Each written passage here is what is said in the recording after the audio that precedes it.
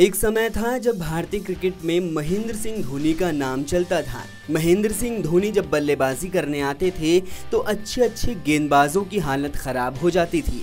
महेंद्र सिंह धोनी भारतीय क्रिकेट में आज तक एक इमोशन की तरह हैं, जिन्हें कोई भुलाना नहीं चाहता है। उनके खेलने का अंदाज हो या फिर उनकी कप्तानी, कोई भी उन्हें आज तक भुला नहीं पाया है। लेकिन आज के समय में ऋषभ पंत एक ऐसे विस्फोटक बल्लेबाज आए हैं जिनकी तुलना अक्सर महेंद्र सिंह धोनी से की जाती है। ये तुलना कभी बल्लेबाजी से होती है तो कभी रिकॉर्ड से होती है। ये कहना गलत नहीं होगा कि आने वाले समय में ऋषभ पंत धोनी के कई टेस्ट रिकॉर्ड को अपने नाम कर सकते हैं। लेकिन जब बात आती है ओडीआई क्रिकेट की तो यहाँ के बादशाह महेंद्र सिंह धोनी ही नज़र आते हैं। तो चलिए जानते हैं महेंद्र सिंह धोनी के ओडीआई के वो रिकॉर्ड, जिसे ऋषभ पंत द्वारा तोड़ पाना काफ़ी ज़्यादा मुश्किल रहेगा। नंबर एक, बतौर विकेट कीपर बल्लेबाज एक पारी में सर्वाधिक स्कोर आपको बता दें कि महेंद्र सिंह धोनी ने साल 2005 में एक सौ तिरासी रनों की पारी खेली थी। ये पारी उन्होंने श्रीलंका के विरुद्ध खेली थी। महेंद्र सिंह धोनी लगाया गया एक सौ तिरासी रनों का स्कोर आज भी वनडे क्रिकेट में किसी भी विकेट कीपर द्वारा लगाया गया सबसे बड़ा स्कोर है।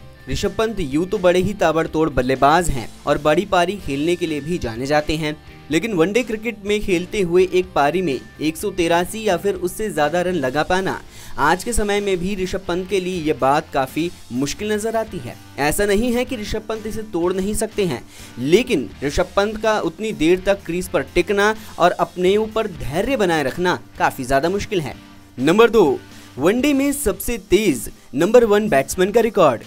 आपको बता दें कि महेंद्र सिंह धोनी विश्व के ऐसे खिलाड़ी हैं जिन्होंने ओडीआई रैंकिंग्स में नंबर एक का स्थान हासिल करने के लिए मात्र बयालीस पारियाँ ली।